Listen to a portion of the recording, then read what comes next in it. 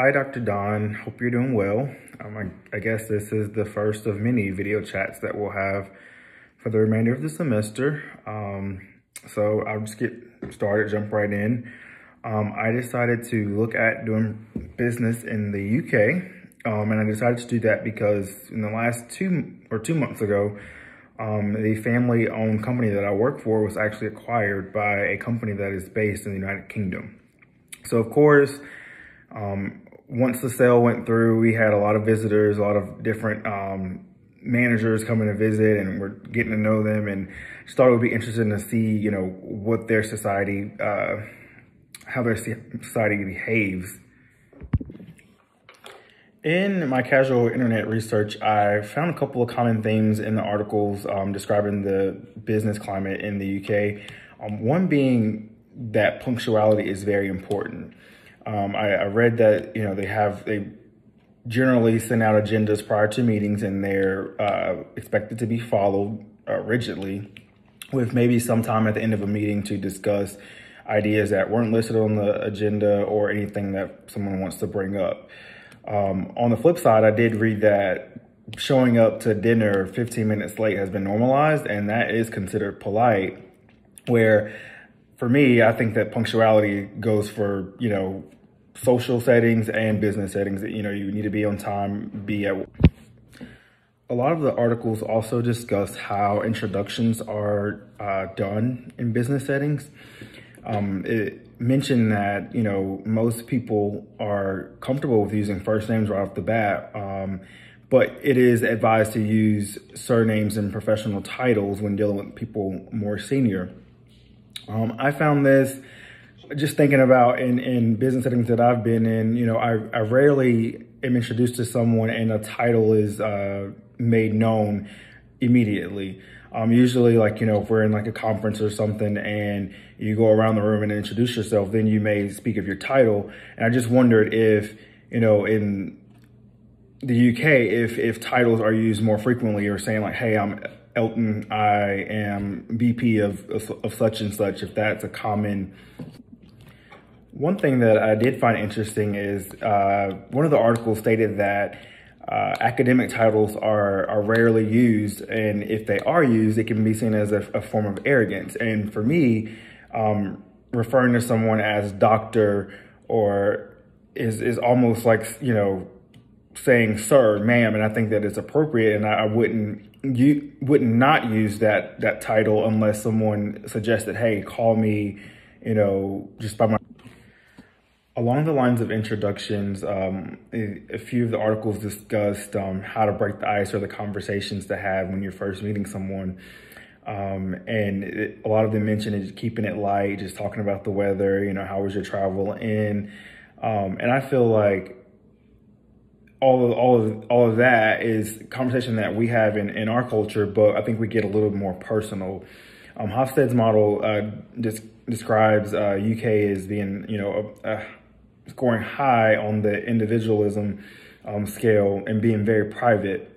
While US scored just a few points lower, I feel like we get way more personal when when chit chatting or the the water cooler chat.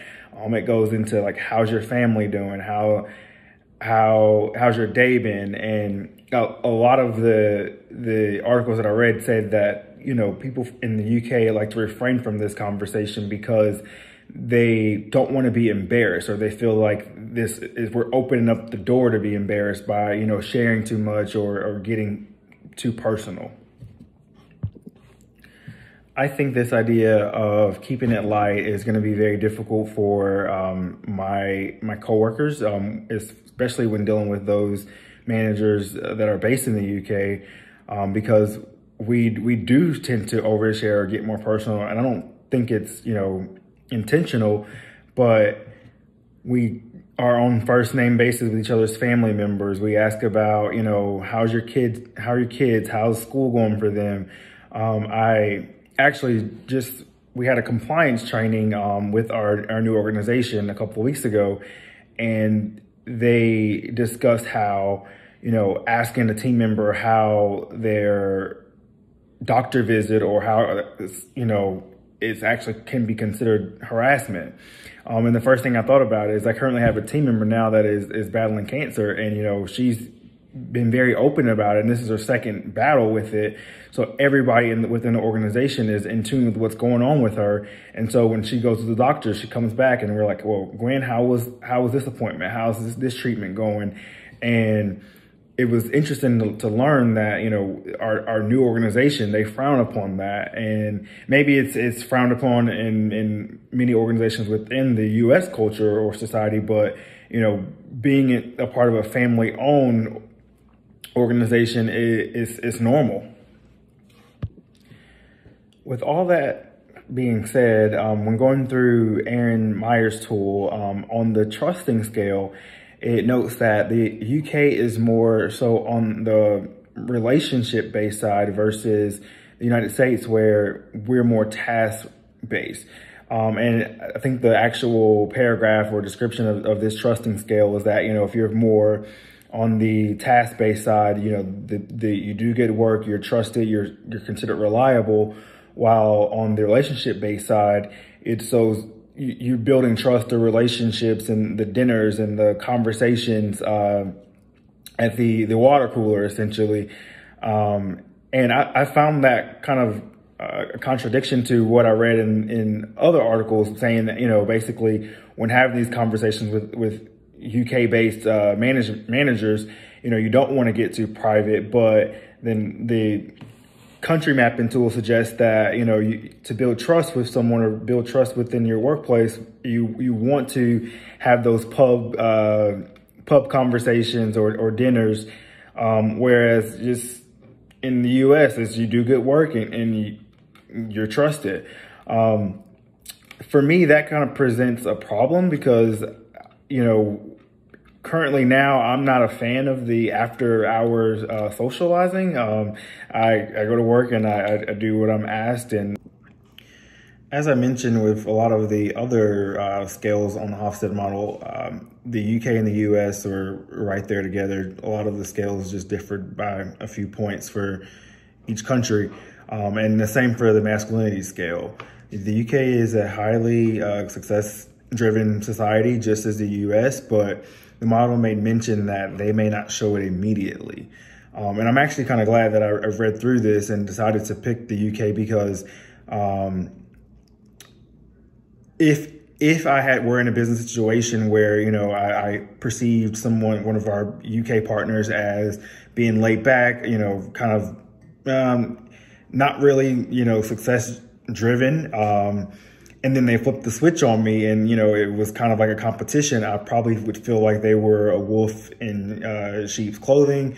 Um, the similarities on the masculinity scale actually gives me a little bit of relief um, knowing that our the motivators of both uh, societies are very similar you know wanting to, to do our best um, wanting to be successful uh, it just is just interesting that we express it differently, and I think that that part will be something to um, recognize as you know start to form relationships with those in the UK.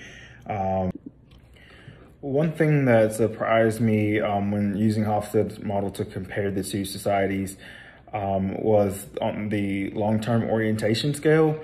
Um, and the way that I understood that scale was that, you know, when looking at change, how much do you rely on the past or traditions? And the UK scored about middle ways. Um, I think the score was a 51.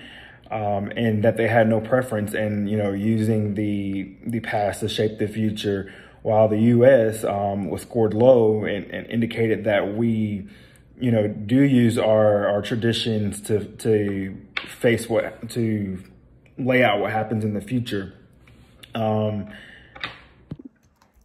overall, I, I believe that doing business in the UK is going to be very similar to doing business in the US. Um, and it almost reminds me of just how uh, Southerners may interpret the behaviors of people from the, the northern part of our country um, and that, yeah, the, the overall principles and values are similar, but just our behaviors may be slightly different.